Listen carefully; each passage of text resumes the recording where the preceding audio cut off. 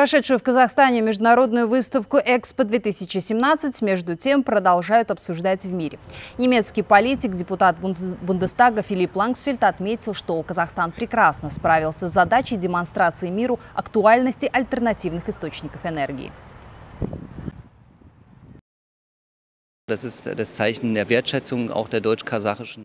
Если говорить о тематике Экспо, то она актуальна для Германии. Мне было очень интересно познакомиться с тем, как разные страны видят энергию будущего. Я получил массу эмоций, посетил множество павильонов. Казахстанский я назову исключительным. Он очень интересный и красивый. Считаю, что комплекс Нур-Алем украсил Астану.